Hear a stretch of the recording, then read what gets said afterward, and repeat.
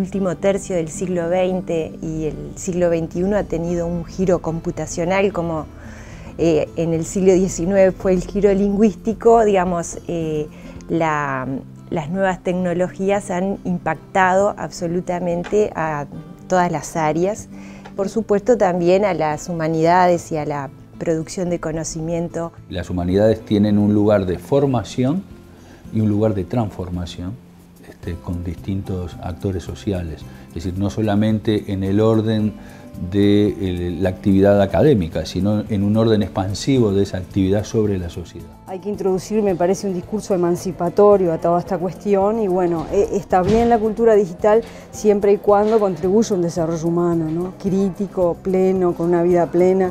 Entonces las humanidades tienen que estar advertidas de esto porque si no van a contribuir a una forma más sofisticada de dominación a través de la cultura digital. Los problemas son complejos y los cortes disciplinarios, digamos, son limitados para poder abarcar este, desde una sola mirada, desde un solo tópico. Genera una expansión del conocimiento, de las perspectivas de conocimiento, porque es más que la multidisciplina. Es decir, es el lugar de un espacio nuevo y de otros criterios de rigor para el conocimiento y para la, para la creación de conocimiento. Complejizan los problemas que ya no aparecen divididos en, disciplinas, sino que son una totalidad. Estas jornadas eh, son multitemáticas, eh, multidisciplinarias en el sentido de que hay varias disciplinas, hay distintos ejes, tres ejes.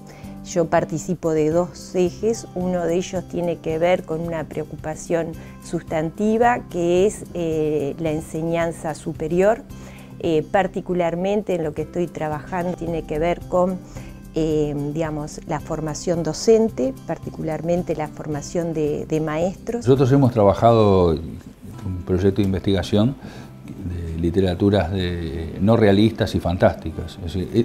Esto se va a trabajar en las jornadas en relación con, por un lado, con la producción de conocimiento alrededor de estas literaturas uruguayas y los distintos contextos históricos. Nosotros hace tiempo trabajamos en un diálogo con una forma de concebir la educación ética a partir del concepto de cuidado. la idea es abrir un, eh, un debate desde diversos eh, disciplinas sobre la formación humana en contexto de privación de libertad. Entonces los esperamos en las jornadas de investigación. Es una contribución a un diálogo necesario. Por eso invitamos enfáticamente a que eh, participen con, ponencias o participen escuchando y eh, haciendo uso de la palabra activamente.